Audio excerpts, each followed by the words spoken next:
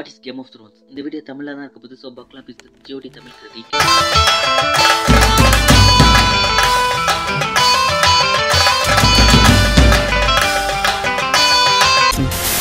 Game of Thrones வந்து ஒரு well written fantasy book by George R R Martin most of the book வந்து late நைன்டிஸ்ல and early டுவெண்ட்டிஸ்ல தான் publish பண்ணியிருந்தாரு. இதுக்கு பின்னாடி உள்ள ஸ்டோரி வந்து இன்னொரு நாள் content so let's talk Game of Thrones first ever GOT book வந்து Game of Thrones nineteen ninety சிக்ஸ்லையும் Clash of the Kings வந்து நைன்டீன் நைன்டி எயிட்லையும் அண்ட் டான்சஸ் வித் டிராகன் வந்து டூ தௌசண்ட் லெவன்லையும் பப்ளிஷ் ஆச்சு. இதுக்கு நடுவில் வந்து ஏர்லி டுவெண்ட்டிஸ்லேருந்து டூ தௌசண்ட் லெவனுக்கு நடுவில் வந்து ரெண்டு புக் பப்ளிஷ் பண்ணியிருந்தாரு. Storm of the Swords and Feast for the Crows and finally வந்து ஃபயர் அண்ட் பிளட் வந்து டூ தௌசண்ட் எயிட்டீனில் கடைசியாக பப்ளிஷ் பண்ணியிருந்தாரு. ஸோ இதுதான் ஜார்ஜ் வந்து ஃபைனலாக பப்ளிஷ் பண்ண புக்கு அண்ட் இந்த புக்கு பேஸ் பண்ணி தான் ஹவுஸ் ஆஃப் டிராகனும் இருக்க போகுது. ஃபர்ஸ்ட் புக் ரிலீஸ் ஆனப்பவே புக் வந்து ஒரு புதுவிதமான ரெக்கார்டை கிரியேட் பண்ணிச்சு. பப்ளிஷ் பண்ண எல்லா புக்குமே ஆல்மோஸ்ட் ஒரு பிக்கஸ்ட் ஹிட் அதுலேருந்து டெக்கேட்ஸ்க்கு அப்புறமா இந்த புக்கை வந்து லைவ் ஆக்ஷன் சீரிஸ் ஆக்க ட்ரை பண்ணுறாங்க ஹெச்பியை வந்து ஜார்ஜ் கிட்ட சக்ஸஸ்ஃபுல்லாக ஒரு டீலும் போடுறாங்க. ஜார்ஜ் சைட்லையும் சீரிஸோட ஸ்டோரி கூடவே ஹார்ட் கோர் கான்செப்ட் எல்லாமே ready except show creator GOT வந்து புக்கில் வந்து great fantasy great world building எல்லாமே இருந்தாலுமே சீரிஸ் அதை ட்ரான்ஸ்ஃபார்ம் பண்ணுறதுக்கு best of the best show creator வேணும். ஒரு ஷுட் சே ஷோ கிரியேட்டர்ஸ்க்கு வந்து already well published and Game of Thrones more popular around the world இதுதான் ஹெச்பியோட பெஸ்ட் ஷாட் இதை மிஸ் பண்ணாங்கன்னா கண்டிப்பாக ஹெச்பிக்கு ஒரு back fire and black out forever best of the best show கிரியேட்டர்ஸ்னு சொல்லும்போது இந்த இடத்துல தான் டிஎன்டி வராங்க ஒரு D B Weiss and David Benioff ரெண்டு பேருமே அந்த டைம் வந்து வெல் நவுன்ல மோர் லைக் நியூ கமர்ஸ் அப்புறம் எப்படி உங்களுக்கு ஜியோடி ஷோ ரன்ஸ் சான்ஸ் கிடைச்சதுங்கிறது இன்னும் இன்ட்ரெஸ்டிங்கான back story D and D வந்து ஜார்ஜோட biggest fans George R R Martin வழியாக தான் உங்களுக்கு இந்த சான்ஸ் கிடைக்கிறதுக்கு ஒரு முக்கியமான காரணம் First, we had to go to George. I mean, first we had Oh. to convince George to Definitely, we book. definitely didn't bathe before we went to George. Of course George வந்து show கிரியேட்டர்ஸ்க்கு at least basic book knowledge இருக்கணுங்கிறது எதிர்பார்க்கறதுல பெரிய surprise இல்லை George வந்து உங்க ரெண்டு பேத்துக்கிட்ட ஒரு கேள்வி கேட்கறாரு அந்த கேள்விக்கு பின்னாடி தான் ஜியோடியோட ஃபீச்சரும் ஹெச்பியோட ரெப்யூட்டேஷன் இருக்கு இப்போ பெரிய கேள்வி அந்த கேள்வி என்னங்கிறது தான் யார் ஜான்சனோட பேரண்ட்ஸ் எஸ் இதுக்கு ஆன்சர் வந்து இப்போ நம்ம எல்லாத்துக்கும் தெரிஞ்சிருந்தாலும் பேக் இன் டூ தௌசண்ட் இதுக்கு ஆன்சர் பண்ணது மார்டின் வந்து very impressed Looking between the two of us, and he said, "Who was Jon Snow's mother?" Oh, And it was a test question. Ah. And I'll always remember this. And George so back in two thousand லெவனில் வந்து நம்மளும் இதுக்கு answer பண்ணியிருந்தோம்னா நம்மளும் ஜியோடியோட show creators மாதிரி இருக்கலாம் போல. So ஆக்சுவலாக ஜியோடியோட பைலட்டுக்காகவே கிட்டத்தட்ட ஆறு ஏழுக்கு மேலே ஷூட் பண்ணியிருக்காங்க. பட் எதுவுமே க்ரீன் லைட் வாங்கல. ஹெச்பிஓ சைட்ல இருந்து. வேற ஷோரன்ஸை கேஷ் பண்ணலான்னு ஹெச்பிஓ முடிவு எடுக்கிறதுக்கு முன்னாடி டிஎன்டிக்கு இன்னொரு சான்ஸ் கிடைக்குது. Because George R R Martin HBO, you make a pilot which didn't they did not run. No. Why did they not Because they, they wanted people to watch the second episode. I see. It didn't come out good. No, we made every possible We've never mistake. done this before. So they kiss this as டிஎன்டியை தவிர வேற யாராலுமே ஜியோடி எந்த அளவுக்கு நல்லா எடுத்துக்க முடியுமான்னு தெரியல I mean season one two six இது எல்லா ஃபேன்ஸுமே கண்டிப்பாக ஒத்துப்பாங்க. நான் முன்னாடியே சொல்லியிருக்கேன் இதை. ஜியோடியோட ஃபர்ஸ்ட் எபிசோடு வந்து நாட் கிரேட் பட் அப்படி இருந்தாலும் நான் எபிசோடு டூ பார்க்கறதுக்கு பின்னாடி உள்ள ரீசன் வந்து Spartacus where the quarter of the episode வந்து boring filler and not great but இந்த ஃபைனல் ஆக்ட் ஆஃப் ஸ்பாட்டகஸ் வந்து ரெஸ்ட் ஆஃப் த சீசனுக்கு வந்து கிரேட் பைலட் அண்ட் சீரிஸோட ஹூக்கிங் பாயிண்ட் ஸோ ஸ்பாட்டகஸை பார்த்த பிறகு எனக்கு புரிஞ்ச ஒரு விஷயம் என்னன்னா never judge book by its cover so என்ன சொல்ல actually it's work so should try so கடைசியாக எப்படியோ ஒரு வழியாக பைலட்டை ரெடி பண்ணி டிஎன்டி வந்து ஹெச்பி கிட்ட இருந்து க்ரீன் லைட் வாங்கிட்டாங்க. ஃபர்ஸ்ட் எபிசோட் வந்து ஜேமிஸ் சீசனை தவிர என்னை எதுவுமே அந்த அளவுக்கு ப்ரூவ் பண்ணல. மோஸ்ட் ஆஃப் த கிரிட்டிக்ஸ் வந்து season one to season four வரைக்கும் தான் கிரேட்டஸ்ட் டிவி ஷோ எவர் மேடுன்னு கன்சிடர் பண்ணுற அளவுக்கு ஹைப்பர் ரியலிசம் அண்ட் கிரவுண்டர் சீரிஸாக இருந்துச்சு.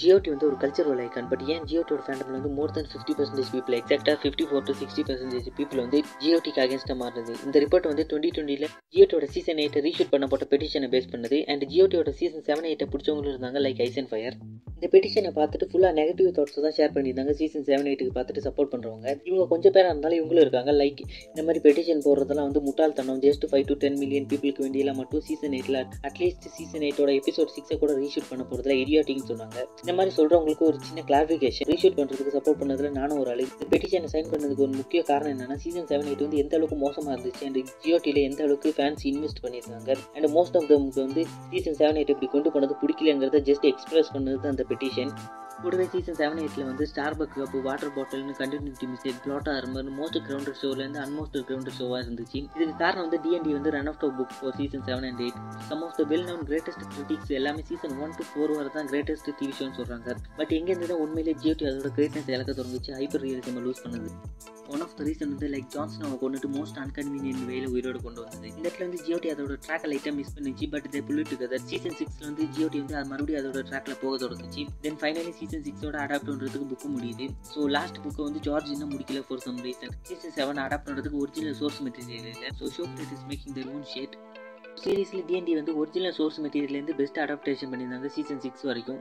சீசன் செவனில் வந்து அடாப்ட் பண்ணுறதுக்கு புக் இல்லைங்கிறதுனால ஜார்ஜ் கிட்டேருந்து ஒரு சில ஐடியா மட்டும் வச்சுக்கிட்டு சீசன் செவன் எட்ட எடுத்தாங்க. லாஸ்ட் டூ சீசன் ஃபேன்ஸுக்கு மட்டும் இல்லை ஒரு சில OG Game of Thrones actor ஆக்ட்ரஸ்க்கு சாட்டிஸ்ஃபைங்காக இல்லை. ஸோ லைக் ஜான் ஸ்னோ கே கிட்டே ஹாரிங்டன் எம்லியா கிளார்க் இதெல்லாம் அவங்க வந்து பப்ளிக்காகவே அவங்களோட தாட்ஸ் எக்ஸ்பிரஸ் பண்ணியிருந்தாங்க இன்டர்வியூவில் Have you shot your final scenes yet? And are you happy with how things ended?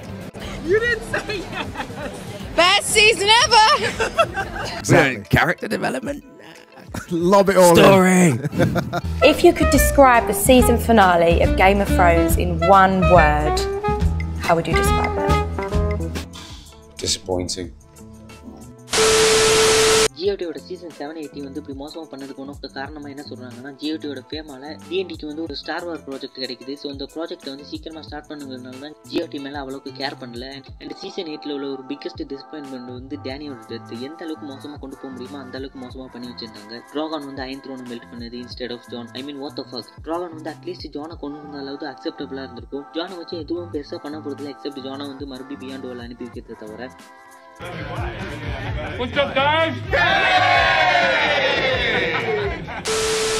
And Grey Worm கிரேவாமை வந்து யூஸ் பண்ணவே இல்லை. டேனியோட டெத்துக்கு அப்புறமா அன்சோல் இருக்கு கிரேவாம் தான் கிங் ஸோ ஈஸியாக டேனிக்கு வேண்டிய அவெஞ்ச் பண்ணியிருக்கலாம். கூடவே கிரேவாமை வந்து சப்பையாக முடிச்சிட்டாங்க. கிரேவாம் கிட்ட வந்து ஷிப் ஆக்சிடென்ட்டுக்கு அப்புறமா some of millions of Unsullied இருக்காங்க. அதே ஃபக்கிங் அமீபாஸ் மல்டிபிள் ஆகிறதுக்கு. Biggest fucking plot hole next plot hole வந்து டெத் ராக்கிஸ் நம்ம ப்ரீவியஸ் சீசனில் பார்த்த மாதிரி சார் ஜோரா வந்து ஒரு டெத் ராக்கியை கொல்லும்போது சொல்லுவார். ஒரு டெத் ராக்கியை பிட்ரே பண்ணி கூடியிருந்தாலோ இல்லை பேக் ஸ்டெப் பண்ணியிருந்தாலோ இந்த இது டெத் ராக்கியோட கோடை ப்ரோக் பண்ணுறது இதுக்காக வந்து டெத் ராக்கி அவெஞ்ச் பண்ணுறதுக்கு வார்த்தை கூட போவாங்க.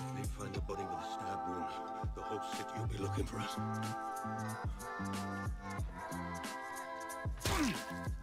டேனியை வந்து கலிசின்னு கூப்பிடுறதுக்கு முன்னாடி ஒரு காரணம் இருக்குது பிகாஸ் இஸ் த ஃபர்ஸ்ட் அவர் டெத்ரோ ராக்கி குயின் ஒரு ரேண்டம் டெத்ரோக்கி பிட்ரே பண்ணியிருந்தாலும் அதுக்கு வார்க்கு போகிற அளவுக்கு இருக்கிறவங்க வந்து எப்படி டேனியோட டெத் வந்து அதுவும் ஜானோட பேக் ஸ்டாம்பில் தெரிஞ்சு ஒன்றும் பண்ண மாட்டாங்க. அண்ட் கூடவே டேனி வந்து எப்படி கிங்ஸ் கோல்டன் ஆர்மையையும் புது விதமான ஒரு வெப்பன் டிராகன் கில்லிங் வெப்பனையும் பற்றி டேனி எப்படி மாறினாங்க? ஐ மீன் இதுக்கு ரெண்டு மூணு சீனுக்கு முன்னாடி தான் லிட்ரலி டேனி வந்து தன்னோட கவுன்சிலில் கிங்ஸ் லேண்டிங்கில் உள்ள அந்த புது விதமான வெப்பனை பற்றி பேசுவாங்க. பிகெஸ்ட் ஃபக்கிங் ப்ளாட் ஹோல் நான் டேனியோட டெத்தை வந்து நல்லா கொண்டு போகலன்னு சொன்னதுக்கு ஒன் ஆஃப் த ரீசன் வந்து ஜான்சன் ஷோவோட மெயின் கேரக்டர் இருந்தாலும் சீசன் ஒன் எபிசோட் ஒன்லேருந்து சீசன் சிக்ஸ் வரைக்கும் இருந்த டேனியோட அமேசிங் ஆர்க்க வந்து ஃப்ளஷ்ட் வந்து ஃபக்கிங் டாய்லெட் சீசன் செவன் எயிட்டில் கூட விண்டர்ஃபில்ல உள்ளவங்களும் கிங்ஸ் லேண்டிங்கில் உள்ளவங்க எல்லாருமே டேனி ஹேட் பண்ணுற மாதிரி ஒரு ஆர்க்கை கொண்டு போயிருக்காங்க. அதையும் ஒழுங்காக கொண்டு போகல. இந்த மாதிரி நிறைய பிளாட்டை கொண்டு வந்து எதையுமே ஒழுங்காக ஃபினிஷ் பண்ணல. அண்ட் கூடவே திடீர்னு வந்து ஒரு டம் ஃபக்கிங் எடிட்டாக கணிச்சது. லாங் நைட் பேட்டில் அப்போ எல்லாருமே டூம் கலருக்கு கூட்டிகிட்டு போனது சேஃபாக இருக்க. வாட் ஏ ஜீனியஸ் இது எந்த அளவுக்கு டம்மான சீனுன்னு பீட்டர் டிங்கிலிச்சே சொல்லியிருப்பாரு. Bringing all the dead people back to life, and they put the women and children in a crypt with all the dead people. So, rah. Tyrion is smart, but I guess not that smart.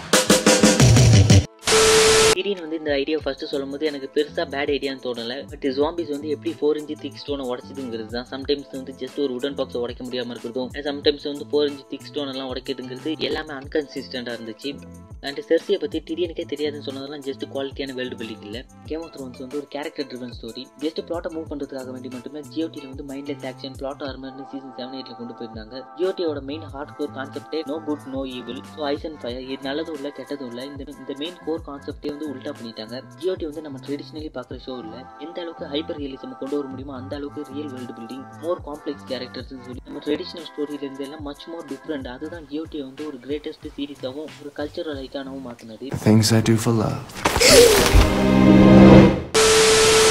But இதனால் மட்டும் season seven எயிட்டில் வந்து good moments இல்லைன்னு சொல்ல முடியாது. அப்படி யாராவது சொன்னாங்கன்னா அவங்க போய் சொல்கிறாங்க அண்ட் சீசன் எயிட்டில் வந்து இது வரைக்கும் நம்ம பார்த்த மற்ற எல்லா டிவி ஷோஸோடவுமே பெஸ்ட்டான சிஜி இருந்துச்சு. And most of the part வந்து ஆக்டர்ஸ் எல்லாருமே அவங்களோட பெஸ்ட் ஆக்டிங்கை கொடுத்துருந்தாங்க. ஆக்டர்ஸ் மட்டும் அவங்களோட பெஸ்ட்டை கொடுக்கல. ராமி ஜவாடி வந்து அவரோட பெஸ்ட்டை கொடுத்துருந்தாரு. சீசன் எயிட்டோட ஸ்கோர் தீம் எல்லாமே பர்ஃபெக்டாக சுட்டாக இருந்துச்சு எக்ஸப்ட் ரைட்டிங்கை தவிர. அண்ட் டேனியோட காஸ்டியூம் வந்து ஒவ்வொரு சீசனுக்கும் வந்து டார்க் ஆகிக்கிட்டே வந்துச்சு. பட் ஜஸ்ட் காஸ்டியூமை வச்சு மட்டும் டேனியோட டெத்தை வந்து ஜஸ்டிஃபை பண்ண முடியாது. ஹவுஸ் ஆஃப் ட்ராகன் வந்து நான் பார்த்துக்கிட்டு வரேன். பைலட் வந்து நல்லா இருந்துச்சு.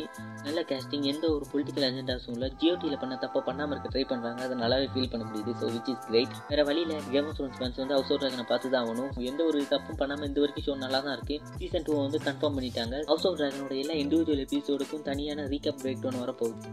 So subscribe for more Game of Thrones House of Dragon content உங்களோட தோட்டை வந்து மறக்காமல் ஷேர் பண்ணுங்கள் first ever Game of Thrones House of Dragon podcast in Tamil and mail ID podcast ID எல்லாத்தோட லிங்க்குமே டிஸ்கிரிப்ஷன் இருக்குது so till then we side for thanks for வாட்சிங்